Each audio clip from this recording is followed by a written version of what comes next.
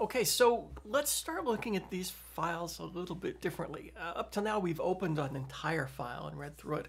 Um, but sometimes it makes more sense to go line by line through something. Um, to do that, it, actually, it's pretty simple. Uh, as you might imagine, reading line by line is a loop. And there's a pattern there, right? So the pattern is look at a line, display it. Look at a line, display it. So as we start thinking about how do we turn that into a pattern, well, in this case, we know how long the file is because uh, it's as long as it is, right? It starts at a place, it ends at a place. It's not that we as people know the number of lines, but it's a it's a finite um, or, a, or, a, or a discrete value that's that, that's very clear, right? So um, we can use a for loop for that. So for each line, that's my variable, right? In, and we're just going to look at our file handler, file handler. Right, so I'm simply saying, look at my file handler, this file that I've opened, and for every line that's in there, print it. Simple and easy, right?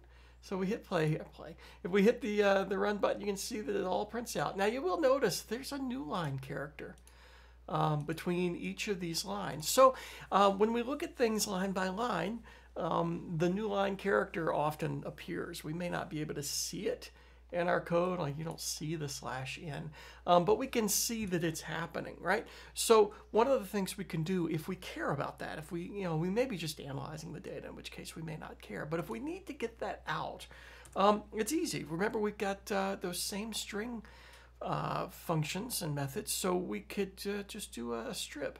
So let's do that. Let's take our each line, variable. So for every line that comes in, I want to take that line and I want to strip the right hand side of it.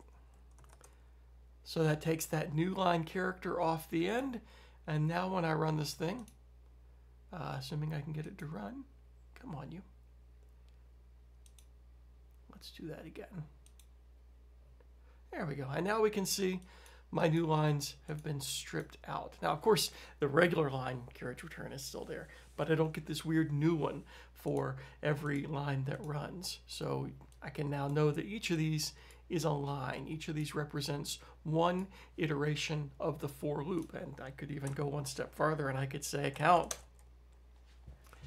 Uh, counter plus equal one, right? And add one to it. I do need to go up here and set my counter to zero then. And so I could come down here, print each line, and then I could print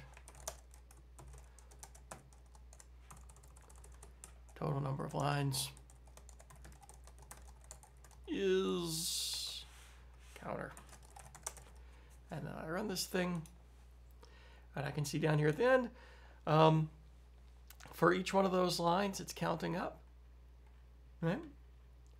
And I can see that uh, my, my final total is 1703 lines of code. Pretty cool, right? All right, so we'll be using this uh, to do some more analysis, analyst, to do some more analyzing of these uh, files.